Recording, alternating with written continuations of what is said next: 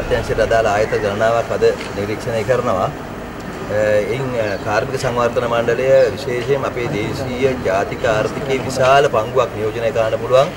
නව නිපැයුම් හදන්න පුළුවන්. ඒ වගේම මේ කර්මාන්ත දියුණු කරන්න පුළුවන් අත්‍යවශ්‍ය සේවා සපයන තැන.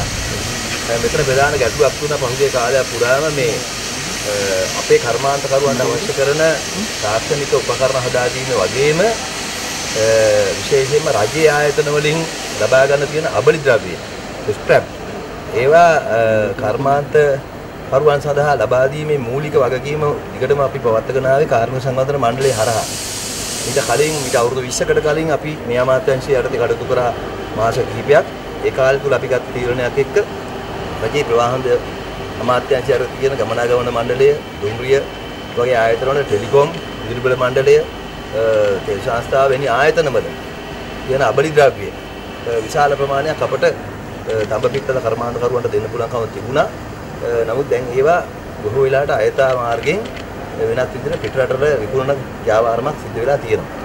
ඉතින් ඒක දැන් නවත්තන්න ඕන කාලය ඇවිල්ලා තියෙනවා. ඊළඟට දැන් මේ ආයතනෙම අපි දකිනවා රජයේ ආයතන වලටම සපයන්න පුළුවන් විවිධ භාණ්ඩවල මූලික අනුරුවන් මෝල්ඩ් එක අපිට හදන්න පුළුවන්. විශේෂයෙන්ම අය ඉවත දාන යකඩ වලින්ම ඒවා හදලා තියෙනවා. දැනට ඒ සඳහා ඇනවුම් කාර්මික සංවර්ධන මණ්ඩලය ලැබිලා තියෙනවා. ඉතින් ඒකෙන් අපිට විශාල ආදායමක් එකතු කරන්න පුළුවන්. ඒ වගේම අපි ඉල්ලීමක් කරනවා ඇත්තටම අපේ රටේ කර්මාන්තකරුවන්ගෙන් මේ Tamanගේ තියෙන කර්මාන්තවල කටයුතු බොහෝ දේවල් දැන් මේ ලේසියට පහසුවට පිටරටින් ගෙන්න ගන්න ක්‍රමයට ගියාම රටට විශාල ජාතික ධනයක් එළියට යනවා. විශාල ඩොලර් ප්‍රමාණයක් රටෙන් එළියට යනවා ඒක නිසා. ඒ තමන්ගේ පෞද්ගලික උවමනාව ගැන විතරක් හිතුවොත් රට ගැන නොහිතා ලේසියට කරගන්න පුළුවන්. හැබැයි ජාතික ආර්ථිකයේ විශාල පාඩුවක් එක්ක සිද්ධ වෙනවා. අපි ඒක නිසා උන්ට ආරාධනා කරනවා එන්න කාර්මික සංවර්ධන මණ්ඩලයට ඉස්සෙල්ලා. අපේ ඩොලර් ඉතුරු කරන්න හිතන්න. ඔබට අවශ්‍ය පහසුකම් ඉතින් ලබා ගන්න පුළුවන්. අපි ඒ ගැන සහතිකයක් දෙනවා. මේ ආයතනයේ පහුගිය අවුරුදු ගාණක් තිස්සේ දක්ෂතාවයන් තියෙන හැකියාවන් තියෙන නිර්මාණ කරන්න පුළුවන් ඔබලාගේ අවශ්‍යතාවය ඇත්තටම සම්පූර්ණ කරන්න පුළුවන් පිරිසක් ඉන්නවා. ඒ ඔවුන්ගේ කැපවීම අපි අගය කරනවා. ඒ නිසා ඔවුන්ගෙන් සේවා සපය ගන්න කියලා ඉල්ලීම තමයි රජයෙන් හැටියට අපට කාර්මික සේවාවන් සපය ගන්න බලාපොරොත්තු වෙන කර්මාන්තකරුවන්ගෙන් ව්‍යවසායකින්ගෙන් ඉල්ලන්න තියෙන්නේ. ඒ වගේම තමයි අපේ අමාත්‍යාංශය යටතේ සහ මේ කාර්මික සංවර්ධන මණ්ඩලය යටතේ කර්මාන්ත ජනපද තියෙන විශාල ප්‍රමාණයක්. ඒ කර්මාන්ත ජනපද 33ක් තියෙන අපේ අමාත්‍යාංශය යටතේ කාර්මික සංවර්ධන මණ්ඩලය යටතේ තව 17ක් තියෙනවා. ඉතින් පහුගිය කාලේ මේ කර්මාන්ත පුර එහෙම නැත්නම් කර්මාන්ත ජනපද මේව හැදිලා තියෙන්නේ දේශපාලන වුණාවට තමන්ගේ හිතවතුන්ට මොනවා හරි දෙන්න බලාගෙන. සලකන්න බලාගෙන තමයි හදලා තියෙන්නේ. ඒක නිසා විශේෂයෙන්ම අමාත්‍යාංශ මුදල් පියදවලා තියෙනවා. යටිතල පහසුකම් ඉදිකිරීම කරන්න. නමුත් ජාතික ප්‍රතිපත්තියකට නෙමෙයි බෙදලා දීලා තියෙන්නේ. ඒක නිසා හුඟක් තැන්වල ඒවා දීලා තියෙන්නේ හිතවත්කම් වලට සමහර තැන්වල අනවශ්‍ය ව්‍යාපාර ඒක නිසා ගොඩනැගිලා තියෙනවා. එකිනෙක එකිනෙක සම්බන්ධයක් නැති ඒවා හැදිලා තියෙනවා. ජාතික සලස්මකට කාර්මික කර්මාන්තපුර හැදිලා නැහැ. ඒවා හදලා තියෙන්නේ දේශපාලන සලස්මකට. ඒ නිසා අනේ දේශපාලන සලස්මකට හැදිච්ච කර්මාන්තපුර නැවත ජාතික සලස්මකට අපි ජාතික කර්මාන්ත අවශ්‍යතාවයන්ට අනුව සකස් කරන්න බලාපොරොත්තු වෙනවා. ඒ නිසා අපිට ඒකට යම් කාලයක් යයි සාධාරණ කාලයක්. මොකද සමහර ඒවා බදු දීලා තියෙනවා. ඒ බදු දීපුවා ඒවා අතුරු බදු දීලා දැන් වෙනත්ම ව්‍යාපාර පටන් අරන් තියෙනවා. සමහර ඒ වගේ ඒ බදු ගත්ත අය බදු ගෙවන්නේ නැහැ. අමාත්‍යාංශයටත් ඒ වගේම කාර්මික සංවර්ධන මණ්ඩලයටත් බදු කිවිසුම් බැහැර හැරලා තියෙනවා. විශාල ගැටලු ගොඩක් තියෙනවා. හැබැයි ඒ ටික අපිට සුද්ධ පවිත්‍ර කරගන්න සාධාරණ කාලයක් යනවා. ඒ වගේම අපිට විශාල ආයෝජක ප්‍රමාණයක් විදේශ සහ දේශීය වශයෙන් නව කර්මාන්ත ආරම්භ කරන්න අපෙන් ඉල්ලුම් කරනවා. ඇත්තට ඉල්ලුම් කරන අයට අපි ගොඩක් ස්තුතිවන්ත වෙනවා නව හැඟීමක් ඇති වෙලා එහෙම ඉල්ලුම් කරන එක ගැන. හැබැයි අපට ඒ ඉල්ලුම් කරන අයට ඉල්ලීමක් කරන්න තියෙනවා යම් සාධාරණ කාලයක් දෙන්න ජාතික කර්මාන්ත සැලැස්මක් හදාගන්න. මොකද ජාතික කර්මාන්ත සැලැස්මක් නැතුව අපිත් අර පරණ වැරද්දම කරන්න වෙනවා හිමුනොත් එක්ක. එතකොට අපිට සිද්ධ වෙන්නේ එන එන කෙනාට පොඩි පොඩි කෑලි කෑලි කොහෙන් කොහෙන් හරි අරන් දෙන්න. එතකොට අපිට සිද්ධ වෙනවා එක පැත්තක සුරතල් මසුන් හදනවා, එතනම ගල් බෝර දානවා, එතනම සැලුන්නේකුත් දානවා, එතනම වින්කලේකුත් දානවා.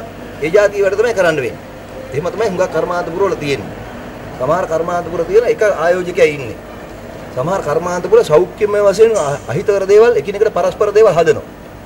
ඒවා අපි නිරීක්ෂණය කරලා තියෙනවා. ඒවා ජාතික විගණනයටත් සම්බන්ධ වෙලා තියෙනවා. ඒ නොගැලපෙන යූසුම් හැටි වෙලා තියෙනවා.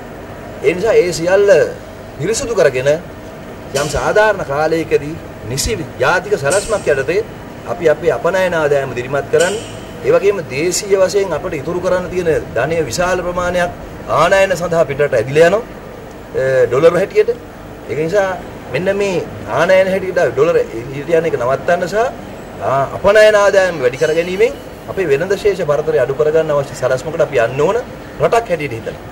ඉතින් අපේ ප්‍රතිපත්තියම දැන් අපි පැහැදිලි ජාතික නිෂ්පාදනය වර්ධනය කිරීම ඒ සඳහා ජනතාව සහභාගී කර ගැනීම ජනතාවට සාධාරණ ප්‍රතිලාභ බෙදා දීම. ඉතින් ඒ වෙනුවෙන් අපට අපේ අමාත්‍යාංශයට විශාලම කාර්යභාරයක් තියෙනවා. විශේෂයෙන්ම කුෂිකාර්මික වගාවන් සඳහා කාර්මික සහාය ලබා දීම. දීවර කර්මාන්තයට අවශ්‍ය කරන කාර්මික සහාය ලබා දීම. සංචාරක කර්මාන්තයට අවශ්‍ය කරන කාර්මික සහාය ලබා දීම. ඒ වගේම නවෝත්පාදන සඳහා කාර්මික සහාය ලබා දීම. නව ව්‍යවසායකින් සඳහා කාර්මික සහාය ලබා දීම. මේ ආදී වශයෙන් අපිට විශාල කාර්යභාරයක් කරන්න තියෙනවා. දැන් ඔබ දැක්ක මෙතන එහා පැත්තේ මේ වෙලාවෙත් කරවල වේලන්න පුළුවන් විදිහට මාළු කරවල වේලන්න පුළුවන් විදිහේ ඩ්‍රයර් එකක් හදලා තියෙනවා. ඉතින් අපි බාහිර අපි දන්න උඹලකට කරවල හදන විදිය. දිවර ගම්මානවල ඉතාලම අයහපත් සෞඛ්‍ය තත්ත්වයන් යටතේ තමයි ඒවා කරන්නේ. ඒ වගේ ඒගොල්ලන්ට ඒවා වැහි කාලෙට විදියට කරන්න බැරි විවිධ ප්‍රශ්න තියෙනවා. ඒවට උත්තරයක් මේකේ තියෙනවා. ඉතින් අපේ රටේ කර්මාන්ත කරුවන්ට අපි ඉල්ලීමක් කරන්නේ ඔබගේ කර්මාන්තයේ තියෙන ගැටලුව මුලින්ම අපට කියන්න. අපි දන්න මෙතන ප්‍රශ්න තියෙන ගොඩක්. ඒ ප්‍රශ්න අපි වෙනම විසඳන්න. එමයි සිද්ධ වෙච්ච දූෂණ, වංචා, චෝදනා ගොඩාක් තියෙනවා. අපි ආ වෙනම විසඳන්නම්.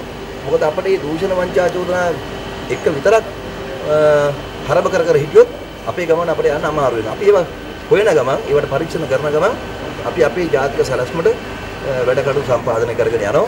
ඒ සඳහා ඔබ හැමදෙනාටම සහාය දෙන්න කියන එක තමයි අපේ ඉල්ලීම තියෙන්නේ. කොහොමද දැන් මේ මෙතනදී සාකච්ඡා වුණා මේ රෝ මැටීරියල් අමුද්‍රව්‍ය පිළිබඳ ප්‍රමිතියෙන් යුතු අමුද්‍රව්‍ය ප්‍රශ්නයක් තියෙනවා කියලා. ඒකට මොකද්ද ගන්න පිළියම? ඇත්තටම තියෙනවා. ඒකට ප්‍රධාන හේතුව තමයි අමුද්‍රව්‍ය හිගයක් තියෙනවා. මොකද අපේ අපේ අමුද්‍රව්‍ය පිට රටවල් වලට වෙනම වෙන හොරපාර වලින් යවනවා. ඒක ඇත්ත කතාව තියෙන්නේ. ඒ විශේෂයෙන් අපි පළවෙනි පියවර හැටියට අපේ අමාත්‍යාංශය යටතේ තියෙන ආයතන සහ අපේ කැබිනට් මණ්ඩලයේ සහෝදර අමාත්‍යාංශවල තියෙන අමුද්‍රව්‍ය අපි කර්මාන්තකරුවන්ට මේ අමාත් මේ ආයතන හරහා ලබා දෙන කටයුතු කරමු. මම එකයි කිව්වේ විදුලි බල මණ්ඩලය, ප්‍රවාහන අමාත්‍යාංශය, ටෙලිකොම් එක ඒ හුඟක් ආයතන වල තියෙන ඒ වගේ අමුද්‍රව්‍ය. ඉතින් ඒවා මෙහෙට ගෙනල්ලා ඒවා සමහර අබිලි ද්‍රව්‍ය තියෙනවා ඒවා යකඩ බවට නැවත පත් කරලා දෙන්න පුළුවන්. සමහර ඒවා තඹ පිත්තල හැටියට කර්මාන්තකරුවන්ට දෙන්න පුළුවන්. මොකද අපේ තියෙන උදාහා මධ්‍යම පරිමාණ ව්‍යාපාර දියුණු කිරීම තමයි ප්‍රධාන වෙන්නේ අපි. SME සෙක්ටර් එක. ඉතින් ඒගොල්ලොන්ට එක පැත්තකින් මූල්‍ය සහයෝගය ලබා දෙන ගමන් මුදල් අමාත්‍යාංශය සහ අපේ අමාත්‍යාංශය වෙන ව්‍යාපෘති හරහා අමුද්‍රව්‍ය සපයීම සහතිකය අපි දෙනවා. ඒ වගේම මම ආයි කියන්නේ ඒකයි. අමුද්‍රව්‍ය හිගයක් තියෙන බව ඇත්ත. හැබැයි ඒකයි කියලා ඉවරලා ලේසියට පහසුවට ගුණාත්මක භාවයෙන් හොර භාණ්ඩයක් හදලා අපේ ඩොලර් ප්‍රමාණයත් අපි අපරාධ පිටරට යවා ගන්න එක තේරුමක් නැහැ. අපි කියන්නේ ඒක නිසා ඒක ගැන අපි දෙපාරක් හිතමු නැවත. දැන් අපිට ඒ ඒක ගැන හිතන්න මම ඉල්ලීම කරන්නේ ඔබලාට අවශ්‍ය සේවය මෙතනින් ලබා ගන්න පුළුවන්කම තියෙනවා ඇත්තට. ඒ විශ්වාසය අපට තියෙනවා.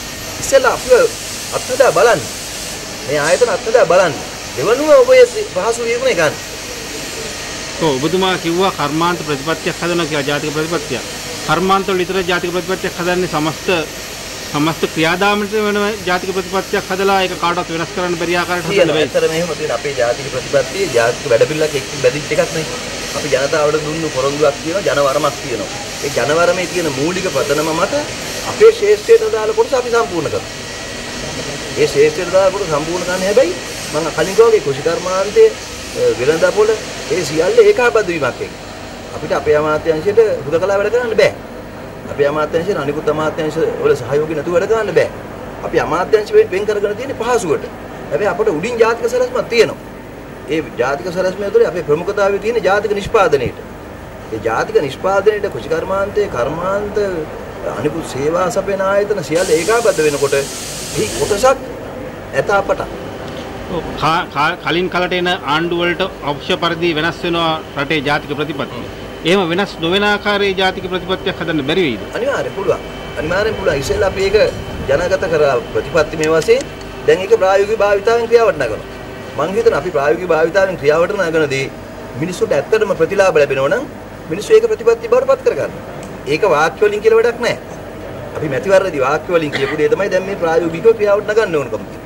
අපි ක්‍රියාවට නගන දේ මිනිස්සුන්ට යහපතක් වෙනවා නම් ඒකෙන් අපේ රටේ ණයබර අඩු වෙනවා නම් අපේ ජීවිත වෙනස් වෙනවා නම් මිනිස්සු ඒක අනිවාර්යෙන් ප්‍රතිපත්තිය බවට පත් කරගන්න.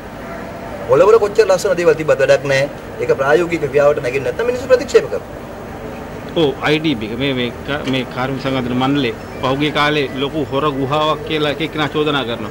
කිසිම වැඩකට නැති ටීවී channel එකක් හදලා තියෙනවා. බස් අරන් තියෙනවා. ඒක කිසි වටිනාකමක් නැති විදිහට අරන් තියෙනවා. ඒ පිළිබඳව මේ ඔබතුමා දැනුවත්ද? ඒකත් එක්කම තව එකක් තියෙනවා මේ ඉලෙක් මේ ඉංජිනේරු ආයතනය මේ මේකේ සිකියුරිටි ප්‍රධානියා බාර තියනවා කියලාත් එහෙම කතාවකුත් තියෙනවා. ඔබ දන්න මම කෝප් කමිටුවට සභාපතිනේ. නේද? එතකොට මම දැනුවත් නොවන විදියක් නැහැ නේ. මම ගොඩක් දේවල් දැනුවත්. සමාජයට මේ ආයතන ඇතුළේ ඉන්න අයට වඩා දේවල් මම දැනුවත්. මම දැනුවත්ව නිකන් ඉන්නෙත් නැහැ. ඒ නිසා මම විශේෂයෙන් හැමදාම කියලා තියෙන දේ තමයි අදත් කියන්නේ මේ ආයතන පිළිබඳව ඔබලාට තියෙන මාධ්‍ය වලට තියෙන විවේචන අපිට ඉදිරිපත් කරන්න. අනිවාර්යෙන් ඉදිරිපත් කරන්න. ඒවා පිළිබඳව හැම එකක්ම අපි පරීක්ෂණ පවත්වනවා. ඒ වගේම අපේ රටේ ජාතික ධනය විශාල ප්‍රමාණයක් විනාශ කරපු අය අපි දැකලා තියෙනවා දැන් දකින්න. ඊට කලිනුත් අපි දැක්කා. සමහර දේවල් අපි විපක්ෂයේ ඉඳගෙන දැක්ක තරමට වඩා අපි ඇතුළට ආවම ඒකේ පතුල ගැඹුරුයි කියලා අපිට තේරෙනවා. තව ගොඩක් යටට යන්න තියෙනවා කියලා තේරෙනවා. ඒ අපි එළියෙන් දැකපු දේවල් සම්පූර්ණ ඇත්ත හැබැයි ඊට වඩා වැඩි ඒවා. ඇත්තටම මේකයි ඊට වඩා වැඩි. ඒවා දීපල වල ප්‍රමාණය ඒවයි තියෙන වටිනාකම මීට වඩා විශාල එකක්. ඒ හින්දා මීට මීට පස්සේ දේවල් සිද්ධ වෙන්නේ නැහැ කියන සහතිකය අපි ඔබට දෙනවා. එක. දෙක තමයි වෙච්ච දේවල් වලට වාසියව අදාළව අවශ්‍ය පරීක්ෂණත් අපි පවත්වනවා. ඒ දෙකම සිද්ධ වෙනවා. ඒ කියන්නේ සැකයක් හිතන්න එපා. පැවිදි අතරින් වෙනස් කරන්න බෑ කියන එක ඔබත් මමත් අපි කවුරු පිළිගන්නවා. නමුත් මේ දෙකම අපි කරමු. මීට පස්සේ දෙයක් සිද්ධ වෙනවා නම් ඒව ගැන සම්පූර්ණ වගකීම අපි බාර ගන්නවා. මීට කලින් වෙච්ච දේවල් පිළිබඳව පරීක්ෂණ පවත්වනවා. අනුතුමා මේ මේ ආයතනයට අයිති ඉඩමක් තියෙනවා කියලා තොරතුරු ලැබෙනවා මේ යහපැත්තේ ඒක 99 බද්දට අරගෙන ඒක ඒ ගත්ත පුද්ගලයා බදු නොගෙව ඊට පස්සේ එයා ඒකේ කොටස් තව කෙනෙකුට කුලියට දීලා ඒ ගැන ඔබතුමා සොයා බලන්න කියලා කලින් කිව්වේ ඒකනේ. මේ ආයතනයේට අදාළ කර්මාන්ත පුරම තියෙන 17ක්. ඒ 17 තියෙන ඉඩම් බදු දීපු අතුරු බදු දීලා තියෙනවා. දැන් අයිතිකාරය හොයාගන්නත් බෑ. හරිද? දැන් එක තැනක තියෙනවා කර්මාන්ත පුරයක් හදලා තියෙනවා. අපේ අමාත්‍යාංශයට ඒක හදලා තියෙන්නේ. කලින් හිටපු අමතිවරු ඒ අමා ෆීසිබිලිටි එකක් ශක්්‍යතා අධ්‍යයන වාර්තාවක් කරන්න නැතුව හදලා අද යන්න පාරක් නැහැ. දැන් නඩු දාගෙන තියෙන ඔක්කොටම. මේක ඇත්ත කතන්දර ඒකයි. මම කල් කලින් කිව්වේ ඇමතුමාපත් වුණාම එයාගේ යාළුවන්ට කර්මාන්තපුරයක් හදලා දෙනවා. හරිද? එමන් නම් එයාගේ යාළුවන්ට බෙදලා දෙනවා ඉඩකඩම් ටික. එහෙම තමයි වෙලා තියෙන්නේ. ඒකින්ද මේ කර්මාන්ත අමාත්‍යාංශලත් හුඟාක්ම ආදරය කරපු කට්ටිය ගොඩක් ඉතර තියෙනවා. හරිද? ඒගොල්ලෝ ඇමතිකම් බෙදා ගන්නකොට මේකම බෙදාගෙන බදාගෙන ඉන්න උත්සාහ කරපු අයත් ඉන්නවා. ඉතින් මම නම් කියන්නේ යන්නේ නැහැ. නමුත් ඇත්ත කතාව ඒකනේ. ඉතින් අපි ඉගෙන හොයලා බලමු. නමුත් ඒ- එකක් අනිවාර්යෙන් හොයනවා. එකක්වත් අතාරින්නේ නැහැ. මම කියන්නේ ඒකයි. අපි හොය හොය හිටියොත් ඒක කියන්නම ඕන. අවුරුදු පහම අධි වෙනවා හොයලා ඉවර කරන්න. හරිද? ඒකෙන්ද හොයන ගමන් වැඩ කරමු.